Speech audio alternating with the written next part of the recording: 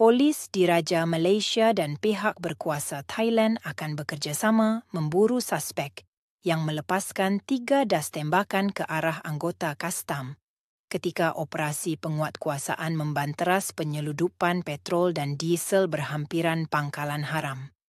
Pokmat, Kampung Simpangan ditumpat, Rabu 19 Jun 2024. Memang uh, satu laporan telah dibuat dan kita juga sedang menyiasat insiden itu.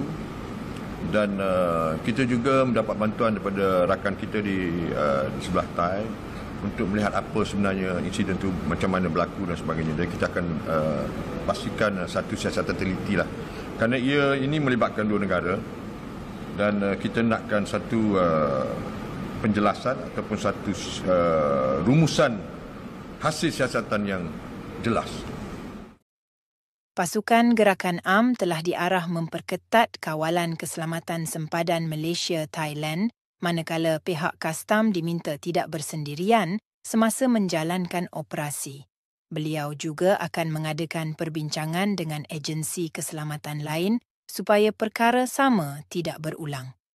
Setiap agensi penguatkuasaan di sempadan perlu bersedia dengan segala tindak balas daripada kumpulan penyeludup terutamanya memaklumkan mengenai lokasi setiap anggota yang menjalankan tugas di sempadan. Dewi Ratnasari melaporkan dari Hotel Venice, Sungai Golok, Thailand untuk portal pakdin.my.